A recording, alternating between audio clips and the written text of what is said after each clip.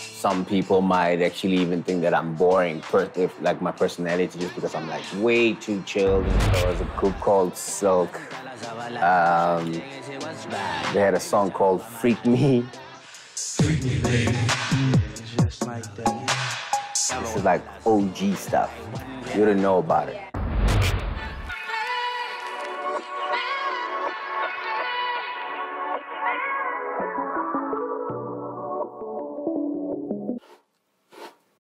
Hello? Alright, it's Upwards 5. I have to be in Joburg by 9 o'clock. I'm excited today because we got ourselves an exclusive insight with that Channel O crew. Channel O will be having an interview with one of the greatest artists in the world, one of the most influential person across Africa, you know. I'm excited to meet this amazing artist. Uh, he inspired a lot of us, including myself, uh, from Ekasi to our television screen.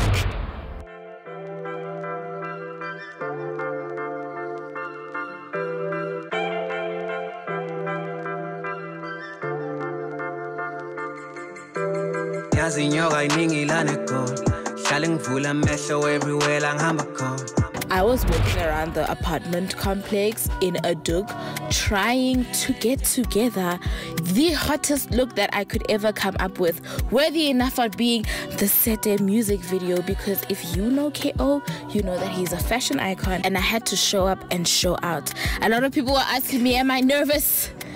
No, I've been preparing for this my whole life, and it was time to go. Oh, for the first time, I'm early. It's quarter to nine, and I was supposed to be here by by nine. So I'm with Rory, the one and only Rory. Ah, bruh, love the steez. We're going to the location where the interview will be held. Then I messed around and made another one. ngazalwa naye simati Too many heaters, too many heaters. Vuleli speaker, kumuli skipper. Koko koko if you keep up. Sande moyeni endlini umuphume ngevisa. What is your most iconic haircut that you've ever gotten here? Uh, I think it might have to be the when I was still bleaching my hair. I remember he asked me to draw like heart, you know. So would yeah. you say that that inspired Thank you. That inspired Drake. Yeah, yeah, yeah. He wants to grow every day. He comes up with something new every day. I think I'm just settling in my role, man. Um, as long as I can give you something classic, it should be able to work with any season that I might be going through or even the music itself. So I, I enjoy looking back and looking at certain things and be like, wow, so this was this phase, you know? Um, but I think from here on, having been through so many phases, I think I just want to keep it classic.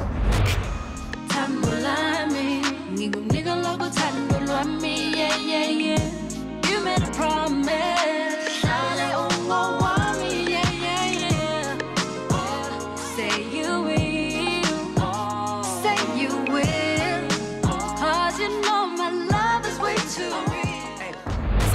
I here, hyping myself up for the KO interview, and this is me later on in the day struggling to pour him water from the dam. Do you think that your life would be where it I just always had like this burning fire inside of me that just told me that I had something to offer to the world. I mean, cool, I always wanted to make music, and I believed it might actually come be unveiled through music. Um, but even if it didn't happen through music, I just always felt like there was just something really special that was instilled in me, you know, by the powers that be. I'm happy that it played out this way because music is my first love.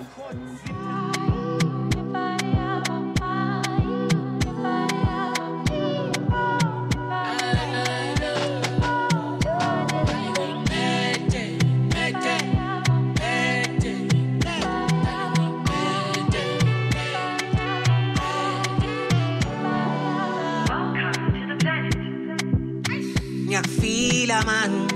Mañana carico timo marame. You been the one, my love. Your latest Daya Sete, eh, which is Tabo Platinum, the thought process behind it and how it came about. So, yeah, Sete eh, was something that just came naturally. Found the beat, was sent to me, and then I started laying down my verse. I was just thinking, who could I possibly get as a feature? And then uh, the idea came for us to reach out to Stunna, who obviously is an piano wizard, but like, you know, the guys were confident enough to say he would still, you know, be able to adapt to this sound. So I reached out to him, just asking for a chorus, and then he sent a chorus and a verse. I wasn't complaining, so like, okay, cool. The young man is is killing it. And then uh, he came to the studio because uh, he sent me his demo, cool. And then I asked him to come to the studio so we can just like fine tune it. And then you know, pleasant guy to work with. I asked him to do some things in the intro. Asked him to do the bridge. Um, just allowing just him to just really, uh, you know, own that entire moment because I just felt like with so much talent that he possesses, there is so much versatility that people still need to hear from him outside of amapiano. And I'm glad that that I was able to allow that to shine through and he, he obviously killed it. And then on top of that, I thought maybe just let me do something crazy. Let's turn this into a massive collab. Reached out to Blxckie. We put out Sete. It's a song that doesn't even have a challenge at all and it became the biggest thing. So there's no formula these days. Just do what naturally comes to you and uh, just be authentic.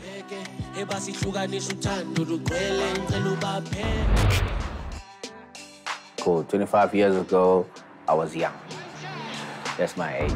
Earliest Channel O memory, I remember seeing, yeah, TKZ, seeing BOP, Brothers of Peace, Oskido, and all those people. Glenn Lewis had some crazy house songs that were going viral back then. And I think I saw a lot of that stuff on Channel O remember your first song that played on the channel first song that I that had my face in it that I saw on channel O was Teargas, a song called Chance. For me, it was just uncomfortable and cringe seeing myself on camera. I was still getting used to the idea of digesting my performance in front of the camera so I became comfortable um, as years went by.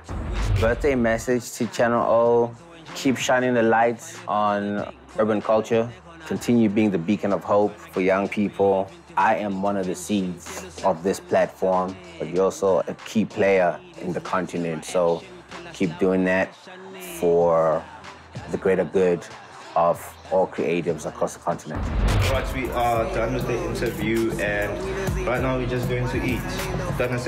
sushi. I loved the most about KO is how humble he is for a person who has achieved all he has. Unlike me, who told the whole world, yes, even strangers and people that I just met, that I know KO on a personal level. There is nobody that has not seen these pictures. that I basically forced my colleagues to praise me because, unlike KO, humility is something that I am still working on. Doing amazing. amazing